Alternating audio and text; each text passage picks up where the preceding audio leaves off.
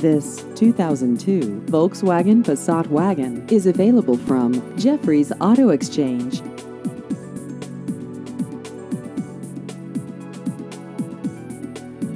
This vehicle has just over 133,000 miles.